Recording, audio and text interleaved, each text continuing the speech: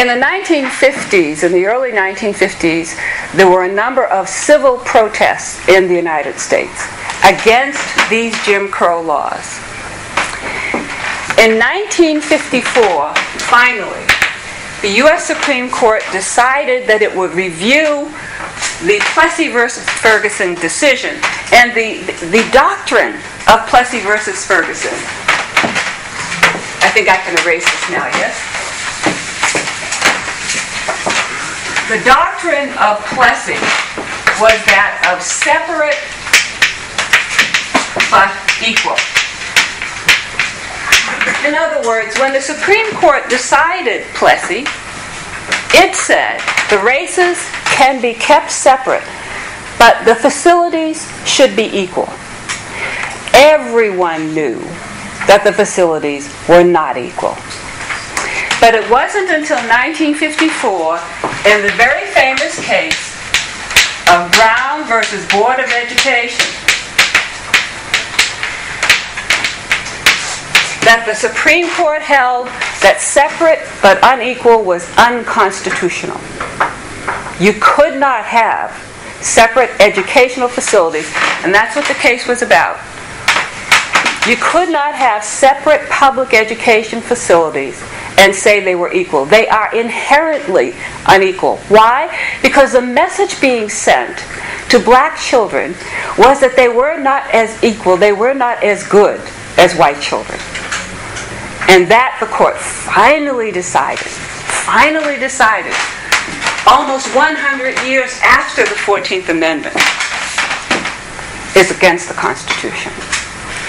So you have this decision in 1954, and then another very important event in the civil rights era in the United States occurred in 1955 in Montgomery, Alabama, when a woman by the name of Rosa Parks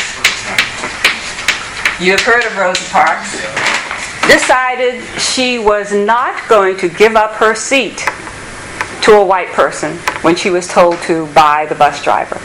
Now, I don't know if you understand, the buses uh, in Alabama were arranged so that the front of the bus was for white people, the back of the bus was for black people, and then there was a little area in between called no man's land where first come, first served. If you get there first and you're black, you can sit there. Well, Mrs. Parks was in no man's land. She wasn't even in the white section. She was in no man's land. But the problem was that she was a black woman who was seated and there was a white person who was standing. So she was told she had to get up and move to the back of the bus and stand. And she refused and she was arrested. And then she was defended. Well, first of all, what happened was there was a major boycott of all the public buses in Montgomery, Alabama. That boycott, as you know, was led by the Reverend Martin Luther King Jr. That was the first time that he was in the public spotlight. He was very young. He was only about 29 years old. He died when he was 39. He was very young. But he led that boycott, which, as you know, was successful. And indeed, by the time the, the, bus company agreed to change its rules, the Supreme Court had gone on to decide that segregated buses were unconstitutional. Okay. In addition to the Montgomery bus boycott and the 1954 decision, there was a group of students um, you have heard perhaps of Stokely Carmichael, uh, who is uh, who, when he by the time he had died, had changed his name to Kwame Ture after Kwame Nkrumah and Sekou Toure. Um, he was one of the students that formed an organization called the, the Students for Non-Violating Non-Violent no, Students for Nonviolent Coordinating Committee, which was now, Dr. King's organization, as you know, was SCLC, this, the Southern Christian Leadership Conference, ministers, church people. The student organization, SNCC, was organized in the early 1960s, and they sat in at lunch counters They were attacked. They were called names. They had food put on their heads. They were beaten. They were dragged away from these lunch counters. Why did they sit in? Because the lunch counters would not serve black people. Now, this is in the 1960s in the United States of America. You were a black person, you could not be served at a 5 and 10 cent store lunch counter. So they protested that. They went to jail. Many of them went to jail. But all of that pushed this civil rights era. And then getting into the 1960s, still in the civil rights era, the, ne- era, the next crucial event actually was the election of John F. Kennedy as president in the early part of the 60s. And then his assassination in 1963. Well, why was that significant? As far as equal protection and affirmative action. Well, that was significant because his successor, Lyndon Baines Johnson, who was his vice president, was the one who pushed for civil rights legislation because President Kennedy died before he was able to see that there was civil rights legislation passed. And so after his death, President Johnson was the, the main force behind the Civil Rights Act of 1964. A very important piece of legislation in the United States. That act prohibited discrimination in a number of areas. In public education, of course, we had the Brown decision, but beyond that, public accommodations, so hotels, restaurants of a certain size. It also prohibited discrimination in private employment. And it prohibited discrimination in federal contracting and in any federally funded program. This was perhaps the most significant piece of legislation, certainly in my lifetime. Certainly in my lifetime. The second most important piece of, of, of civil rights legislation after this one was the Voting Rights Act.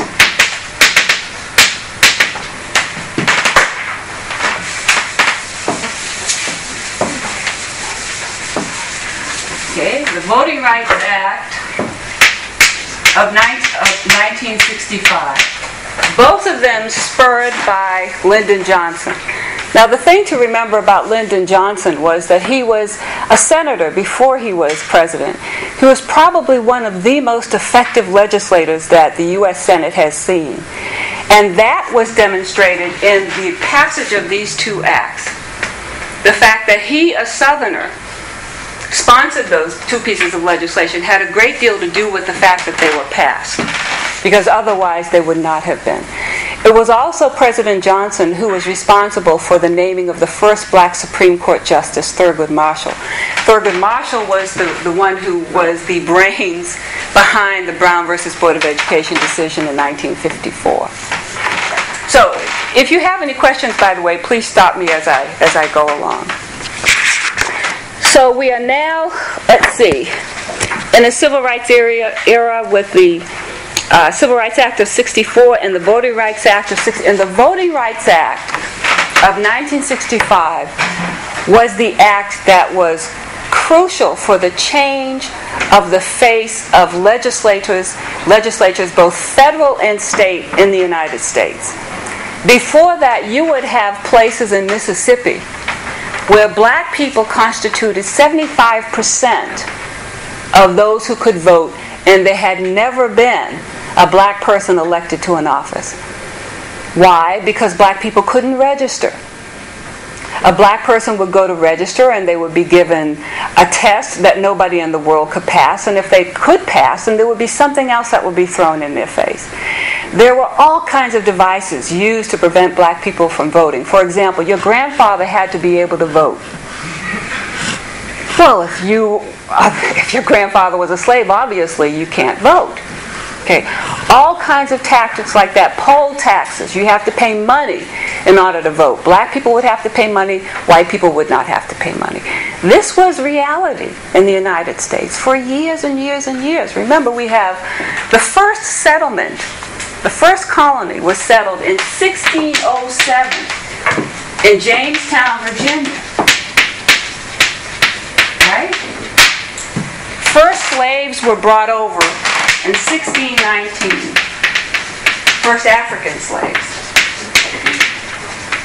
Okay. Now, initially, those slaves were treated like indentured servants. They were treated like whites. They were servants for a number of years. But by the 1680s, they were slaves for life. They were servants for life. And you understand what slavery meant, huh? It meant that you could be sold like a piece of furniture. You could be given away. Your children could be taken from you. That's what slavery meant. So we have a country where this institution lasted for over, well over 200 years before you had the Civil Rights Acts, or, and indeed the, the, the Civil War amendments. But even for almost another 100 years after that, with Jim Crow laws separating blacks from whites. So this is a very, very long history. It's a very, very long culture of discrimination and oppression. Okay? So that ends the civil rights era, and we're now into a federal affirmative action efforts. Those efforts actually date